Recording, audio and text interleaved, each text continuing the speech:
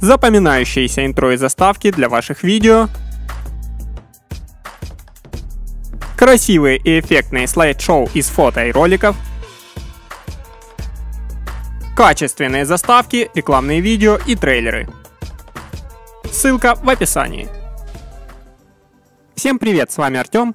В этом видео я расскажу вам, как установить iOS 9 Beta 1 на любое устройство без прописывания UDID в аккаунте разработчика. Довольно странно, что в этом году в Apple не стали ждать выхода первой публичной бета-версии и разрешили установить первую тестовую версию на все поддерживаемые устройства. Возможно, это временное явление или упущение, которое закроют в ближайшие дни, а возможно, новая политика компании по распространению тестовых версий мобильной операционной системы. Итак, для того, чтобы установить iOS 9 Beta 1 на свое устройство, необходимо скачать прошивку нужной вам версии – на мой взгляд, лучше всего для этого подходит сервис imzdl.com. Ссылку на него я размещу в описании к видео. Мне нравится данный сервис потому, что здесь появляются ссылки на скачивание практически сразу после появления их на официальном сайте Apple.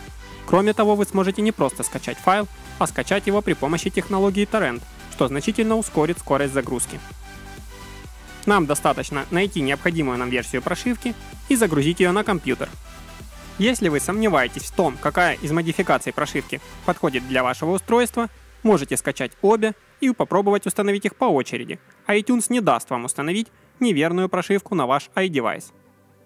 После окончания загрузки необходимо разархивировать прошивку, включить iTunes и подключить наше устройство к компьютеру. Не забываем о необходимости сделать резервную копию в iTunes, после чего приступаем к обновлению прошивки.